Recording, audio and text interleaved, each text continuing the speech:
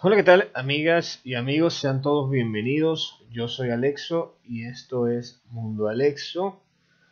Y pues como siempre saben, yo soy, yo trato de, traer temas muy alegres al canal, pero en este caso debo, debo dar mi opinión y debo, debo decir cosas que no son tan alegres, pero se tienen que decir. Como ustedes saben que a veces yo agarro y digo las cosas que nadie dice, y lo digo yo. Así es mi canal. y bueno, eh, disculpen que hay perritos por ahí ladrando. Y bueno, pues voy a hablar de la, del tipo de delincuencia que hay en, en, la, en los venezolanos. ¿Ya? Un, un, delincuente es una persona que comete un delito. Punto. Eso ya lo sabemos todos. Y obviamente aquí en Perú hay delincuentes peruanos también, ¿sí? Pero el delincuente venezolano es diferente, es malo, es malo, malo, malo. Es salvaje. Y, y yo quiero... Disculpen los sonidos. Y yo quiero... Quiero contar por qué son tan malos. ¿Por qué son tan salvajes? ¿Por qué son tan malos? ¿Por qué son capaces de, quitarle la, vida a alguien por un teléfono y, no les importa? ¿Y por qué pican a las personas? ¿Y por qué eh, son tan salvajes? Pues porque es una salvajada. Es una salvajada. La razón de esto es porque son personas que tienen un vínculo muy estrecho con la con la esotería, por decirlo de alguna manera, con la con la brujería, con el demonio, por decirlo así. Son personas que eh, en Venezuela los malandros que mueren se convierten en, santos para los malandros. O sea, hay estatuillas y todo, y ellos adoran a esas estatuillas extrañas. Es una locura, sí, le ponen velas, le rezan para que su día sea fructífero y, ese tipo de cosas. Cosa que a mí estoy totalmente en contra de eso. Eh, pero sí, el, malandraje venezolano es feo, es feo, es salvaje, es, es malo. Pues. No es un simple no es una persona que simplemente te quiere robar algo, sino que es una persona ah, incluso sádica, ¿no? Y ojo, obviamente los venezolanos hay, personas muy buenas. Nosotros, por ejemplo, como familia, somos personas que no tenemos nada que ver con ese tipo de creencias ni nada por el estilo.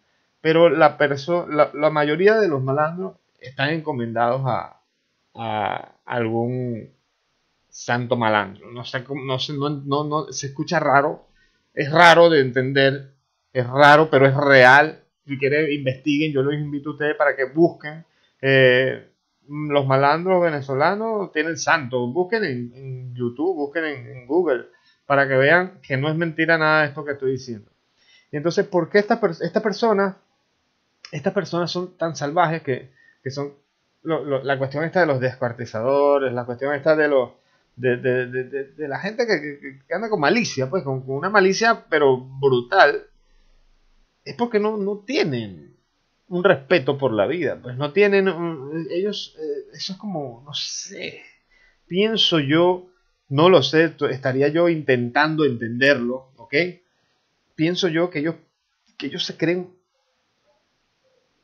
como que es como elevar un rango, algo así, no, no lo sé explicar perfectamente, pero, pero ellos como que mientras más personas tengan eh, en, su, en su lista de, asesinatos o lo que sea, son como que tienen más rango entre ellos, ¿no?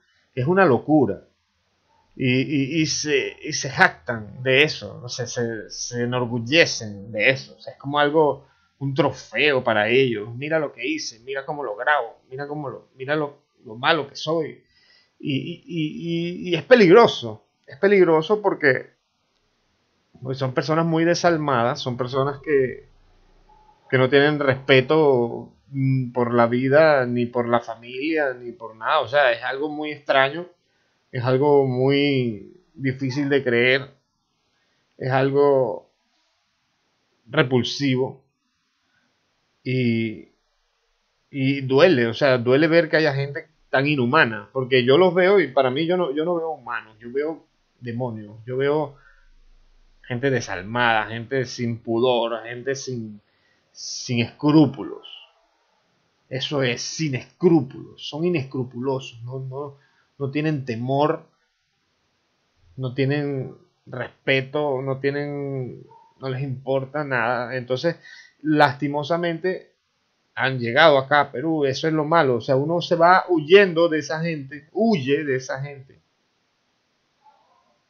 Y esa gente aparece acá. Y eso tiene que acabarse, o sea, e, e, e, eso no sé cómo hacer, no sé, yo, yo no tengo palabras ni siquiera para, para expresar la, la, la rabia, la, la impotencia, porque es impotencia lo que siento. Yo quisiera que no estuvieran acá en Perú ni en ningún otro país del mundo.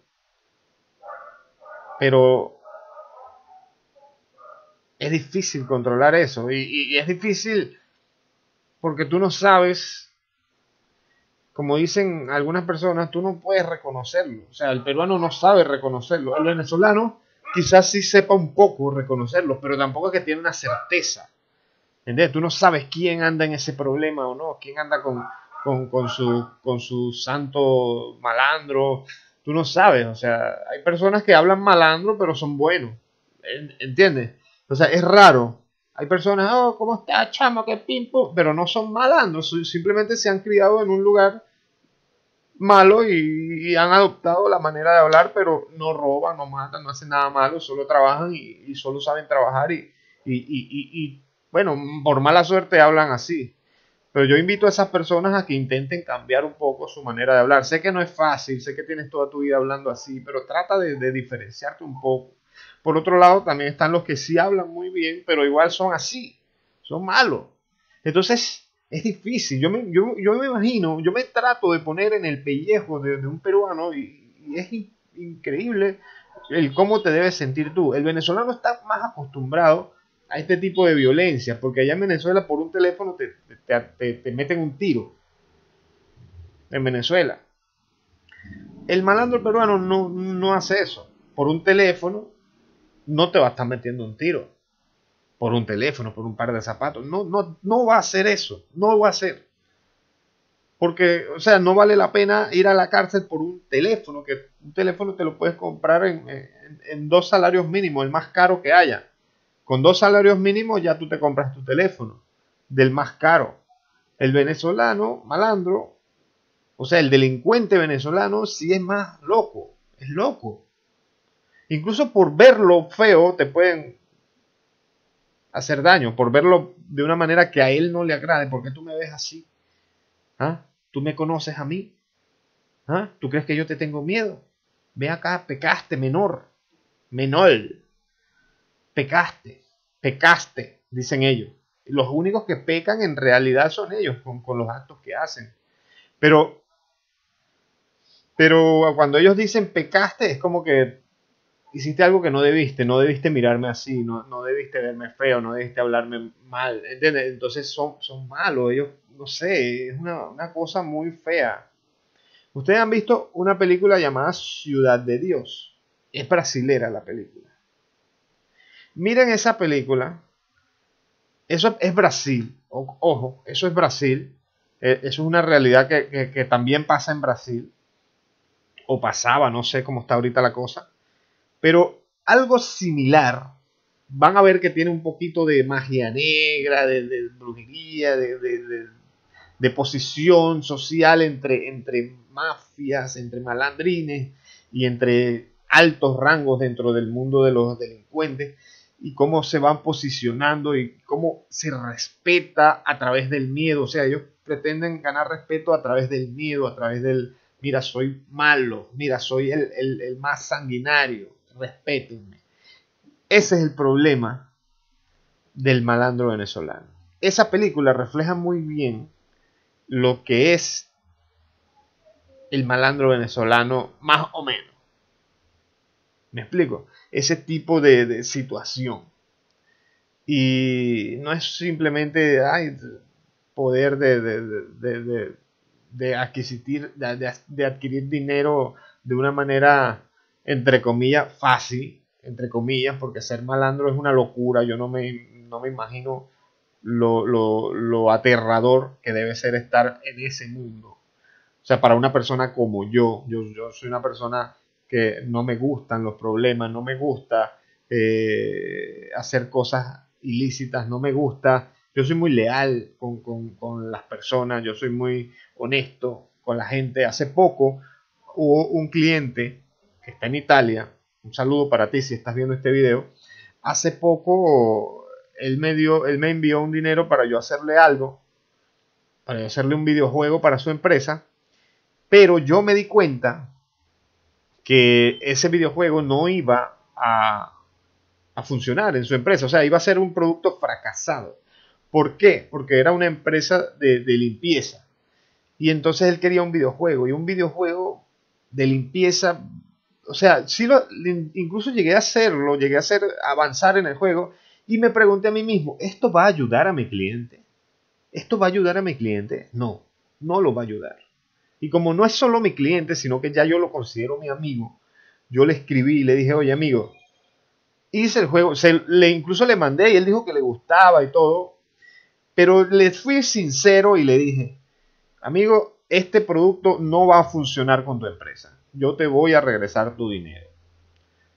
Yo te voy a regresar tu dinero porque yo no pienso darte un producto del cual después tú vayas a, a, sentirlo como que fue una pérdida económica, una yo no quiero eso para, mi reputación dentro de, lo laboral. ¿Me explico? Mucha gente dirá, ah, tú si eres tonto, le regresaste el dinero. No, amigo, es ser honesto con tu cliente. Es ser honesto con tu amigo.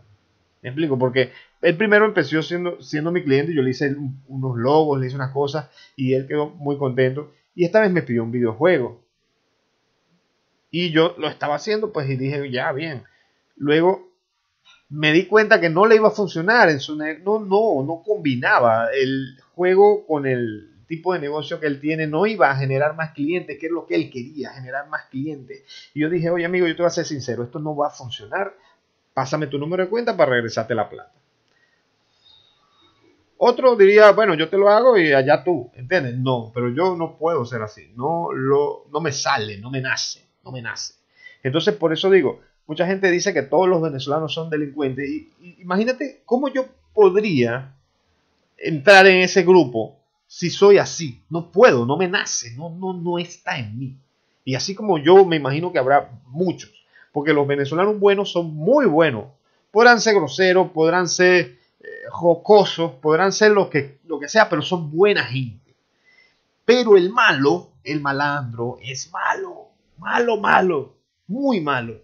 Y entonces, más aún, la razón, el, el, el núcleo de esa maldad es el mismo, es el mismo demonio, porque son cosas de, de, brujería, de magia negra, de, de, de cosas feas, pues, ¿entiendes?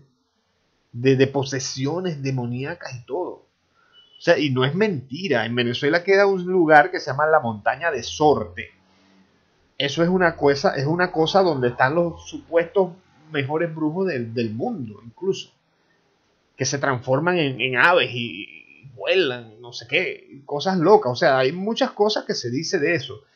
Y, y el malandro venezolano suele, en su gran mayoría, estar involucrado con eso. ¿Me entiendes? Suele hacer rituales para ser millonario, para lo que sea, ¿no? Para tener poder, para, para tener mujeres, para tener eh, estatus a nivel malandro, ¿no? Entonces, por eso el malandro venezolano es tan malvado. Por esa razón.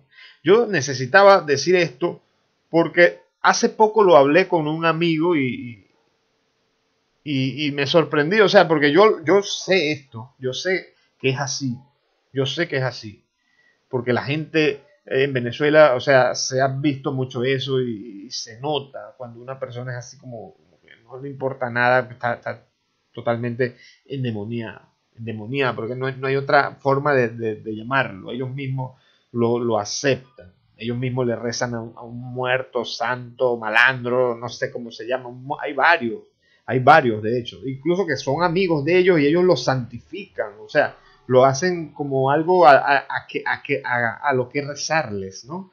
Y, se sienten protegidos por, por esas personas que ya fallecieron y ahora supuestamente los están protegiendo.